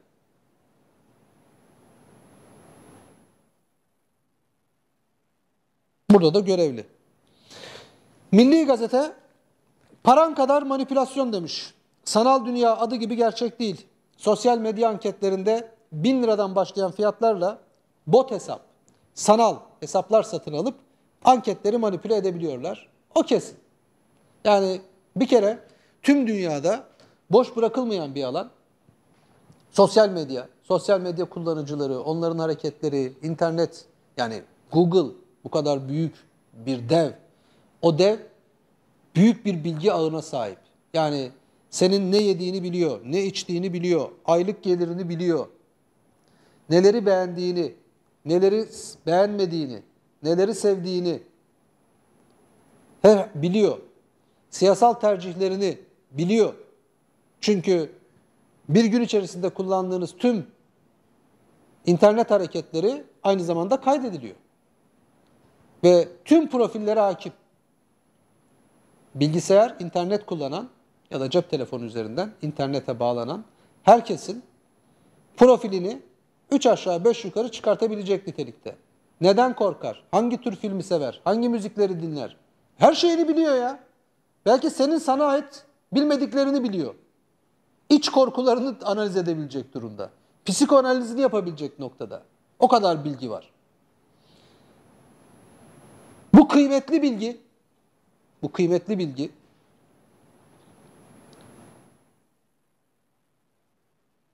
sonuçta parayla satın alınabilecek bir bilgi. Paran çoksa bu bilgiye sahip olduğun gibi aynı zamanda bu kullanıcıları manipüle edebilecek, bu kullanıcıları yönlendirebilecek bir aynı zamanda araç sahibisin. Yine internet. Dolayısıyla bu 60 günde çok şey görürüz. Yazılan, çizilen, edilen. Yüzde 30 oy alacak, yüzde 25 oy alacak. Herkes öyle alıyor yani. Bakıyorsun yüzde 500 oy çıkıyor. Herkes yüzde 25, yüzde 30. Birinci tur değilse ikinci tur filan. Üç aşağı beş yukarı tablo net oysa ki. Yani kimin ne alacağı da net gibi. Ee, oy dağılımı da hani öyle böyle net. İki aday arasında yüzde 90, 95 oy dağılacak. Geriye kalan oy yüzde 3-5 kalırsa. Bin liradan başlayan fiyatlarla sanal oylar satın alınabiliyor. Geçtik. Anket verilerinin gerçekçi ve güvenilir olmasıyla alakalı pürüz var. Geçtik. Cari açıkta yeni rekorlar. Cari fazla vereceğiz denmişti ama rekor üstüne rekor kırılıyor. Geçtik. Ee, kriz yönetimi yok. Yönetim krizi var. Saadet Partisi Kadın Kolları Genel Başkanı Nurgül Beyti ve Ekinci beraberindeki heyet Kahramanmaraş merkezli depremlerde ciddi yıkım yaşayan bölgeleri ziyaret etti. Kriz yönetimi yok bölgede, yönetim krizi var diyerek de durumu özetlemişler aslında. Şunlara da bakalım mı? Dur gazete pencereyi açalım. Orada flash haber var. Gazete Pencere. Dünün e, akşam saatlerinde ben gördüm onu. Bilmiyorum daha erken çıktım ama. Bir jandarma genel komutanımız var. O jandarma genel komutanı katıldığı toplantılar, verdiği fotoğraflarla çok tartışılan bir isim haline geldi. Bir siyasi kimlik e, adeta. Tabii İçişleri Bakanlığı'na bağlı hale gelince jandarma bir siyasetin de e, bir uzantısı gibi e, görülebilir. Çakıcı'nın danışmanı Orgeneral masasında. Bakın fotoğraflar orada. Zaman zaman tehditkar ifadelerle muhalefet partilerine hedef alan Cumhur İttifakı'na arka çıkan organize suç örgütü lideri Alaaddin Çakıcı'nın danışmanı Ferhat Aydoğan, Jandarma Genel Komutanı Orgeneral Arif Çetin'i ziyaret etti. Fotoğrafları da sosyal medya hesabından yayınladı. Aydoğan paylaşımında Orgeneral Arif Çetin'den vatanımızın yiğitlerinden diye bahsetti. Çetin'in daha önce de cinayetten hakkında hüküm bulunan Galip Öztürk'le fotoğrafı tartışma yaratmıştı.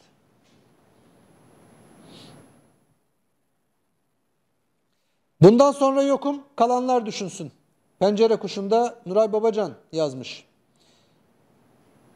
AK Parti'nin Demirtaş'ı etkisizleştirecek, Öcalan'ı devreye sokacak, Kürt oyları planı. Kılıçdaroğlu'nun adaylığının kesinleşmesinin ardından yaptırılan seri anketler ve Soylu'ya yönelik parti içi tepkiler var. Bir de Soylu'nun bundan sonra ben yokum yorumu. Soylu diyor ki ne haliniz varsa görün. Ben bu iki ayı da elimden geleni yaparım. Ondan sonra AKP içinde benden nefret edenler diyor herhalde. Hiç rahatsız olmayın. Ondan sonrasını siz halledebiliyorsanız halledersiniz. Bu iki ayı bir geçirelim bakalım. İnce hesap. ince hesap. Memleket Partisi onlar bir dansları var. Böyle bir dansları var.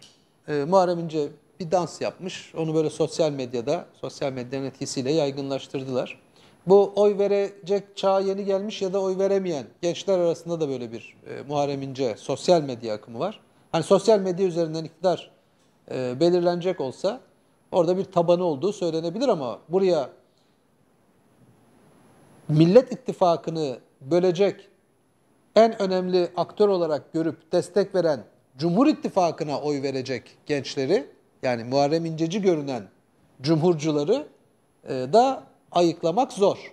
Çünkü karışık bir mecra. Onu e, ayırt eden programlar üzerinden böyle trollerin e, bu kampanyalara destek verdiğine dair e, analizler var. Muharrem İnce ona kızıyor ama. Öyle yok diyor. Troll orada var da burada yok öyle troll bunu. Var yok neyse. O dans meselesinde e, Muharrem İnce'nin Cumhurbaşkanı adayı olarak, Memleket Partisi'nin adayı olarak ilan edilmesi ki bunlar yeterli değil biliyorsunuz 100 bin imza lazım. E, Sinan Oğan da e, ATA ittifakının e, adayı. Dün onu söylemeyi ihmal ettim. O yüzden bugün tamamlayayım. Yani şu anda Cumhurbaşkanı adayı olacağını söyleyen e, Muharrem İnce var. Sinan Oğan var. E, Zafer Partisi'nin desteklediği isim diğer partilerle birlikte yani beraberinde Atak İttifakı diye bir ittifak oluşturuldu. E, başka partiler de var. Muharrem İnce çekilecek mi çekilmeyecek mi? İnce hesap bakalım nerede devreye giriyor. Evet iktidar kanadından çok sayıda hesabın hiçbir anlam içermeyen ince paylaşımları yaptığı belirlendi. Yani onu yukarıda tutacak adını e, paylaşımlar bunlar. Adaylığıyla muhalefet partilerinin oylarını böleceği analizi yapılan İnce hakkında e, mesaj atan bot hesapları kimin işte, e, işlettiğine ilişkin bir tespit yok. Muharrem İnce ise sosyal medya başarısının gençlerin kendisine olan ilgisine bağladı. İddiaları devreye sokanlara troll dedi. Yok öyle bir şey diyor yani. CHP'li Gürsel Erol, Cumhurbaşkanı adayı olan Memleket Partisi lideri Muharrem İnce'nin Kemal Kılıçdaroğlu lehine yarıştan çekilmesini beklediklerini söyledi. İnce için Erol, akıllı ve mantıklı bir adamdır. Yuvasına geri döner diye bekliyorum ve dönmelidir dedi.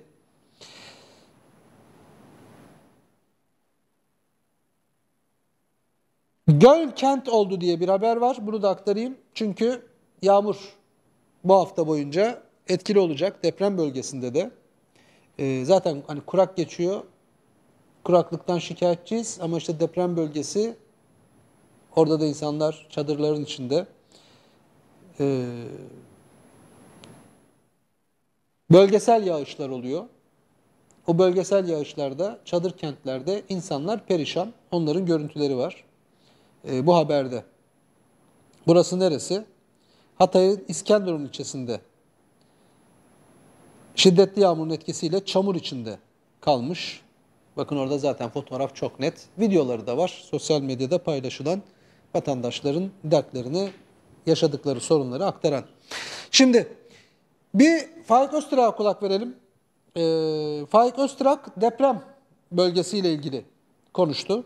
İktidarın neyi yapıp neyi yapamadığına ilişkin e, bir konuşması var. Onu aktaralım. Hüdapar'a ilişkin de değerlendirmeleri var ama onu biraz sonra aktaracağım. Bu arada kurak derken Malatya'da kayısılar çiçek açmış. Onu bir görüntüsünü verir misiniz arkadaşlar? Ee, ya erken açtı diyor oradaki üreticiler. Biz de daha sonra yapacağımız işleri yapmaya başladık. Bir, kana, bir taraftan verebilirsiniz görüntüyü. Ee, ben konuşurken. Dolayısıyla hani deprem ve depremden etkilenen bu bölgede şimdi havalar eh daha Mart'ta bu burada bakın çiçekler açmış. Üreticiler orada. Hani bir tohuma tutarsa biraz büyürse belki bir soğuğu kaldırabilir ama aksi takdirde e, yaşanabilecek e, kayıp konusunda da endişeleri var oradaki üreticilerin. Evet dönelim Faik bakalım deprem konusunda neler söylemiş.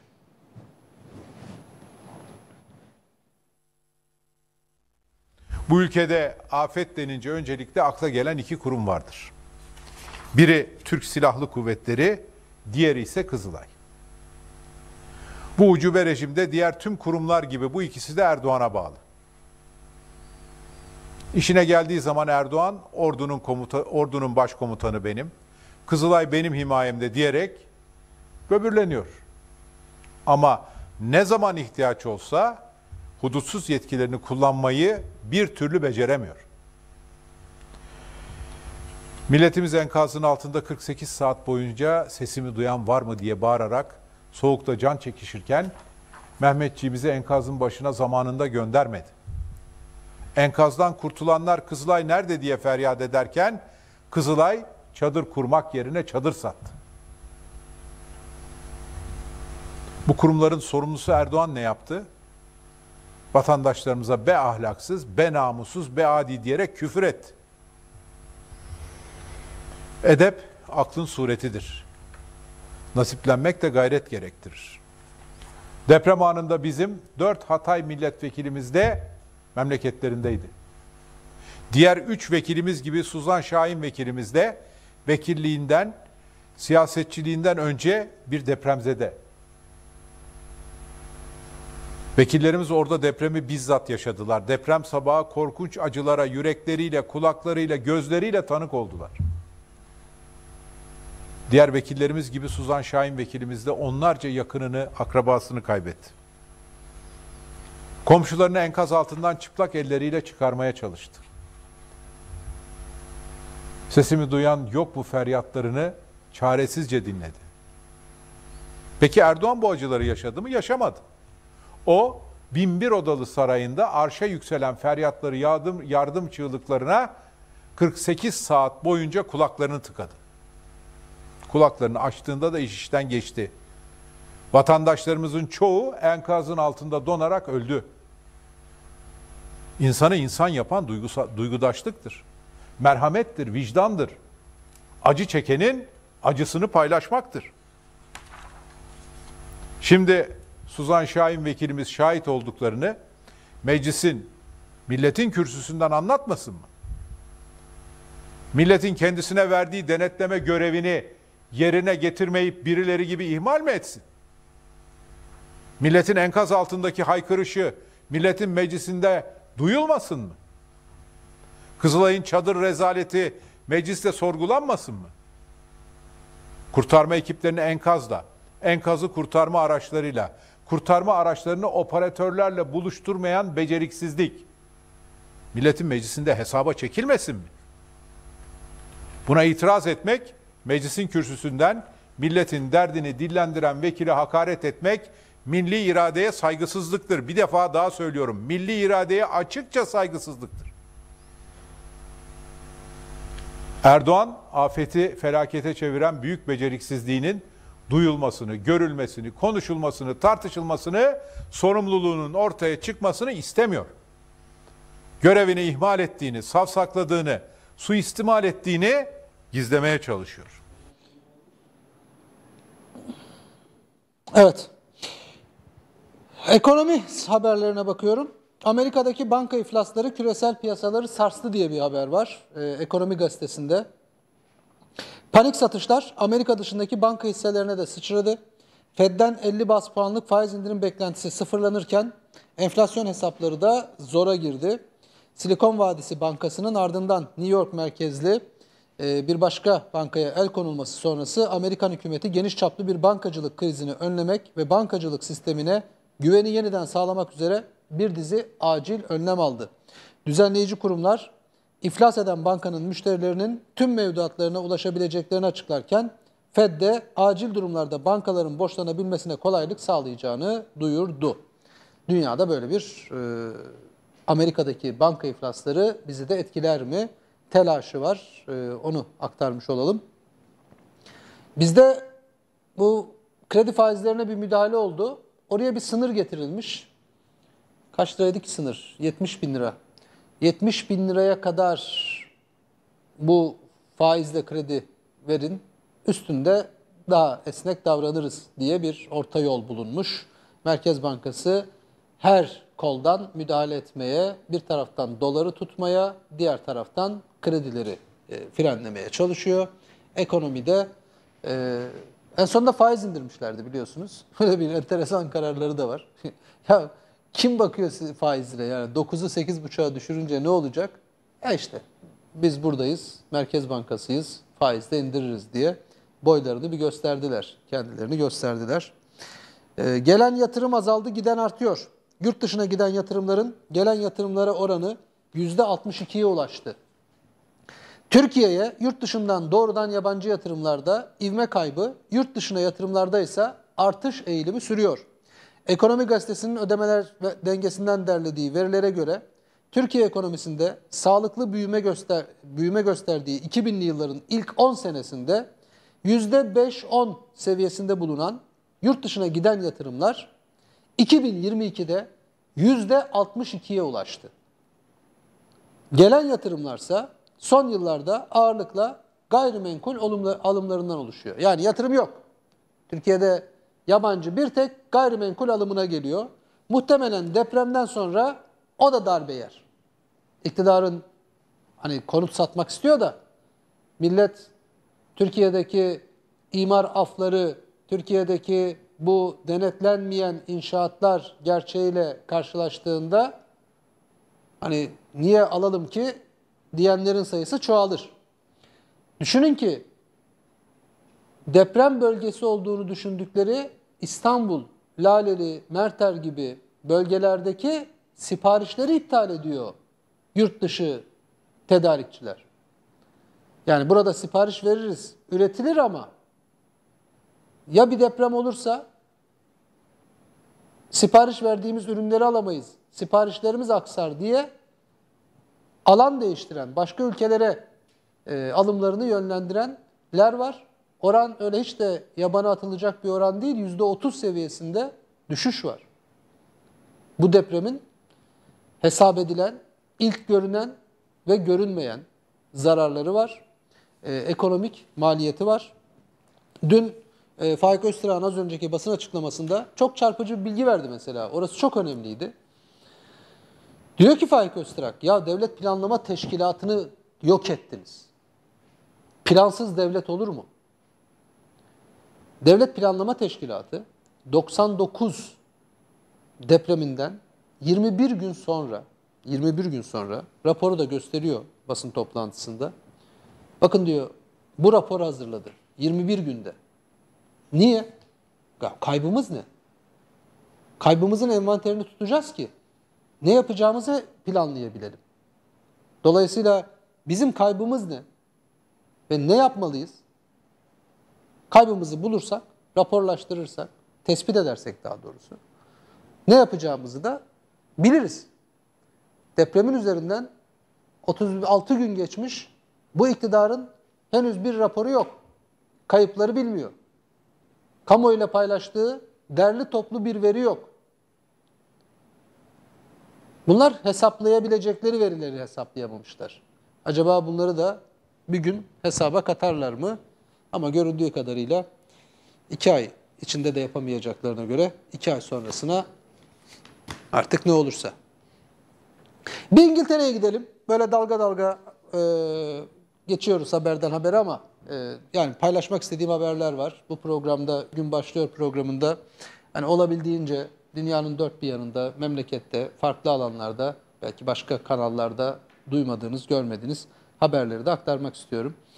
İngiltere'de krallık karşıtları protestosuna dair görüntüler var. Bir verin arkadaşlar görüntüleri. Ben üzerine anlatayım. Bakın Türkiye'de hükümet istifa demek suç ya. Hani hükümet istifa diyemiyorsunuz ya. Adamlar krallığa karşı diye böyle bir haber haline gelebilir. Adamlar krala karşı ya. Kralını tanımam diyor ya. Kral kim diyorlar ya. Tanımıyorum benim kralım değilsin diyorlar. İngiltere'de monarşi karşıtları İngiliz Milletler Topluluğu gününde e, kraliyet ailesini protesto etmişler. İngiltere Kralı 3. Charles, artık kraliçe yok biliyorsunuz. E, başkentteki e, katılacağı tören öncesi kilisenin karşısında bir araya gelen göstericiler monarşinin kaldırılması talebiyle protesto düzenledi. Görüntü geliyor mu arkadaşlar? Verin bir yandan görüntüyü. Ben şey yapayım, üzerine konuşayım. Seslerini de açarsanız.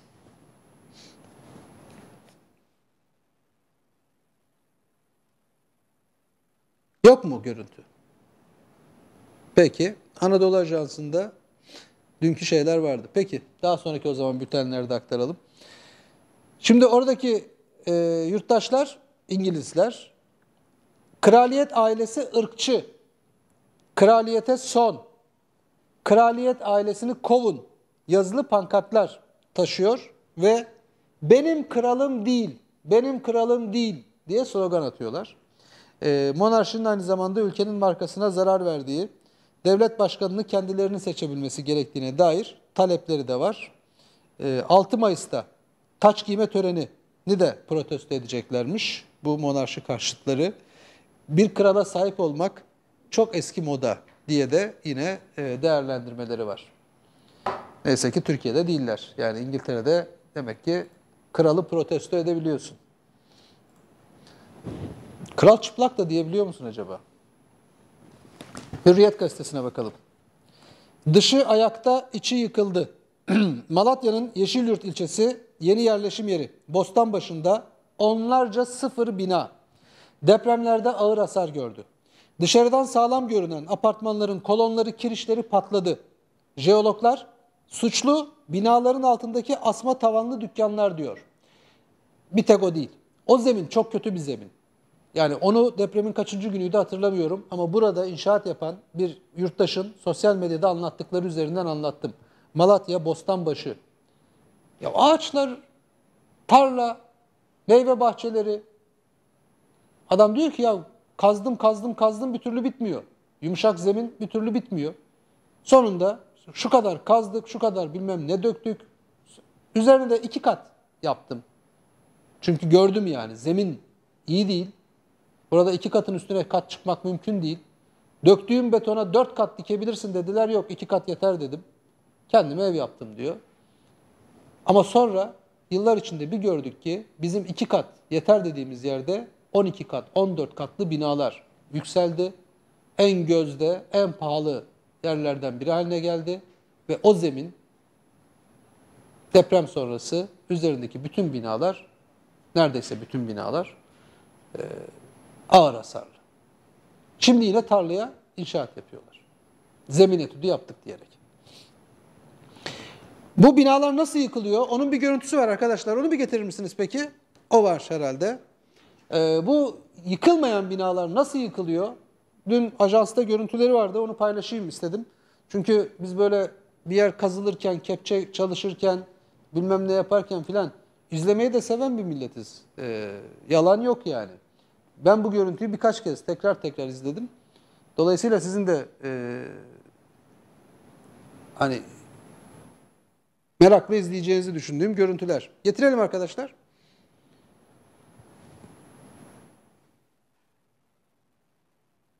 Tam ekran.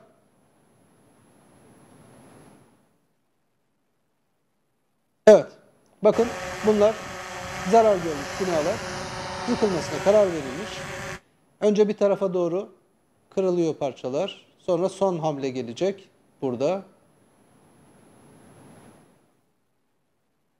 Şuradan son hamle bir kolonla, bir kirişle zaten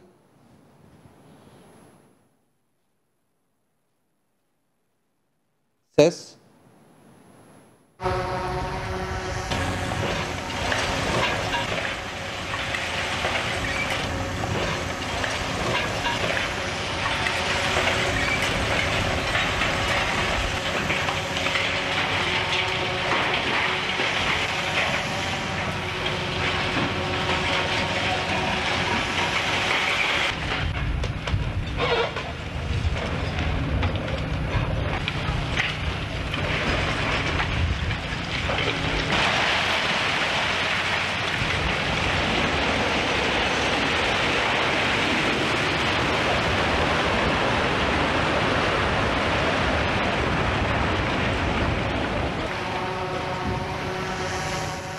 zamanında doğru zemin analizi, doğru teknik ile yapılsa böyle yıkmak zorunda kalmayacağımız binalar. Milli servet diyor ya işte milli servet. Biz e, okulda silgiyi şöyle tırnağımızla hani bir yerini falan koparsak ya da ne bileyim bir kalemi fazladan açsak öğretmenlerimiz milli servet, milli servet derdi. Yani yerli malının e, değerli olduğu yıllarda. Dolayısıyla her şeyin değerini bilin. Sonuçta o boşuna harcadığınız, boşuna tükettiğiniz bir kalem ucu da olsa, silgi de olsa onu yerine koymak için sonuç, e, harcama yapacaksınız. Milli servet. Milli servet işte. Ama durum bu. Duvardan karton, e, duvarlar karton gibi yırtıldı diyor. E, Malatya Yeşilyurt ilçesini vermiş. Burası bu yıkım yapılan yer Maraş olması lazım. E, bir saniye neresi? Bu Adıyaman'mış. Zümrüt sitesi. Evet, Zümrüt sitesindeki yıkım. Ramazan pidesi kaç lira olacak? Onu zaten il il e, anladığım kadarıyla değişiyor ama 10 lira e, seviyesinde olacağı anlaşılıyor. E, gramajlar birbirinden farklı. illere göre fark ediyor. E, gramaj düşürüp işte 10 lirada anlaşacaklar gibi belki bazı yerlerde 8 lira olacak. Pide, Ramazan pidesi. Tele1.com.tr'ye hemen hızlıca bakalım arkadaşlar birkaç dakikada.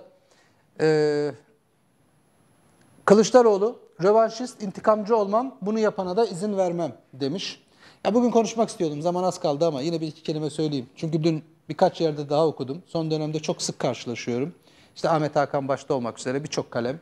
Ee, ya işte bunlar e, ne biçim insanlar, bir e, CHP medyası diye medya var. Bunlar ağızlarında işte şey sürekli intikam, intikam, intikam diyorlar. Yarın bir gün iktidar değiştiğinde işte onu yapacaklar, şunu yapacaklar, bunu yapacaklar. Ya bir saniye sakin olun ya. Ya bir kere memleket öyle bir memleket değil. Bir de o kadar korkmanıza kim, gerek yok. Yani bak bu kadar iktidar baskısına rağmen korkusuzca biz bu işi yıllardır yapıyoruz. Siz ne oldu ya bir iktidar değişecek? Zaten hemen siz de değişeceğiniz için muhtemelen uyum sağlarsınız. Sorun yok. Kaldı ki vaat edilen dönem ne öyle FETÖ'cülerin kalem kalem isim sayıp onu da evden aldıracağız, bunu da evden aldıracağız deyip gece yarısı AKP ile işbirliği içerisinde gece yarısı evlerin basıldığı İlhan Selçukların gözaltına alınıp karakola götürüldüğü bir dönem. Ne de öyle bir dönem vaat ediliyor. Ne de AKP'nin yine gece yarısı FETÖ'den sonra da